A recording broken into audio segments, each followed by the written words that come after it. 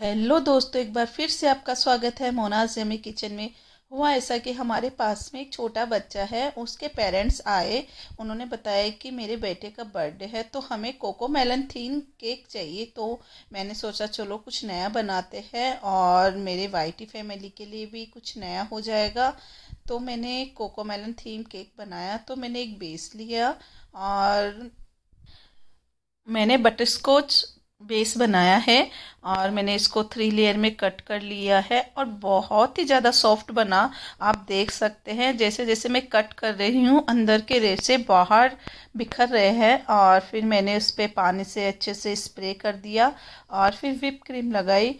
और whip cream मैंने बहुत कम लगाई क्योंकि कस्टमर ने मुझे बोला कि क्रीम कम ही चाहिए तो मैंने उस पर विप क्रीम कम लगाई और फिर मैंने बटर स्कॉच क्रश डाला, जिससे टेस्ट बहुत ही अच्छा हो जाता है। फिर मैंने बटर स्कॉच क्रंच डाले और इससे भी टेस्ट और भी अच्छा लगने लग जाता है, क्योंकि बीच में क्रंची क्रंची आते हैं, इसलिए और नेक्स्ट वीडियो में मैं बटर स्कॉच क्रंच बनाना ज़रूर बताऊँगी कि मैंने वो घर पे कैसे बनाए और फिर मैंने ऐसे करके सभी लेयर लगा दी और फिर मैंने चारों तरफ़ विप क्रीम लगा दी जो मैंने स्काई ब्लू कलर में बनाई है और लाइट कलर में बनाई है और फिर मैंने उसको स्क्रैपर की सहायता से उसको अच्छे से फिनिशिंग दिया और फिनिशिंग तो आना बहुत ही ज़रूरी है केक में। बिना फिनिशिंग के तो केक बिल्कुल भी अच्छा नहीं लगता। आप देख सकते हैं केक में कितनी अच्छे से फिनिशिंग आ रही है। बहुत ही हल्के हल्के हाथों से हमें फिनिशिंग देनी होती है, क्योंकि अगर हाथ ज़रा सा भी टाइट होता है तो फिनिशिंग बिल्कुल नहीं आती और आप देख सकते हैं। और हमने इसके बीच में स्ट्रो डाला है ताकि केक का बैलेंस बना रहे और फिर मैंने प्लेटर नाइफ से हल्के हल्के ऊपर थोड़ा डिज़ाइन भी दिया है। और मैंने दो बेस बनाए हैं। दो बेस में थोड़ी अलग डिज़ाइन है, इसलिए मैंने दो बेस बनाए हैं और दूसरा बेस मैंने हल्का ग्रीन कलर का बनाया है और सेम ही मेथड है, इसलिए मैंने वीडियो नहीं डाला है।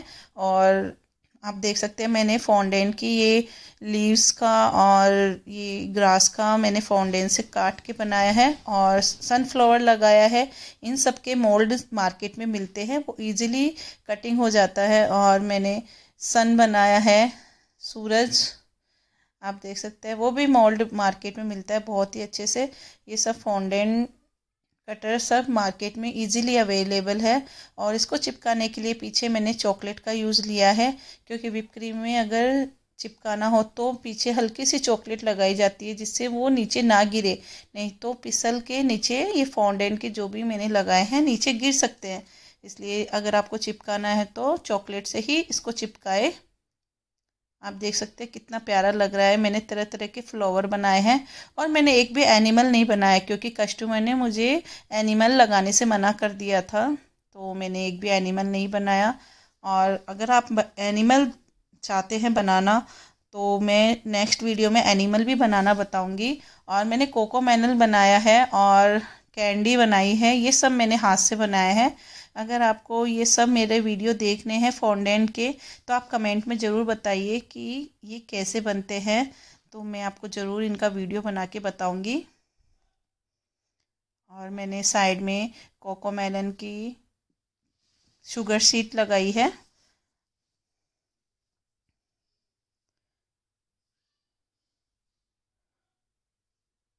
आप देख सकते हैं कितना प्यारा लग रहा है केक। और जो ये कटिंग भी होती है, जो फोंडेंट कटर से बहुत ही फिनिशिंग से होती है, इसलिए ये और भी अच्छा लगता है।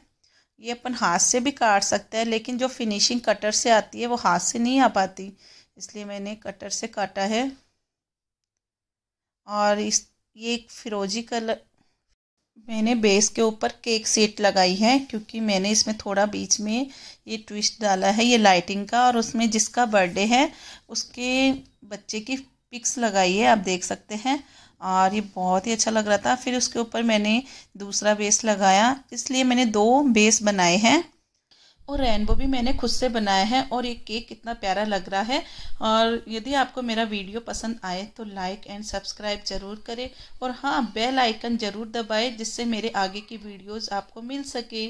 Thank you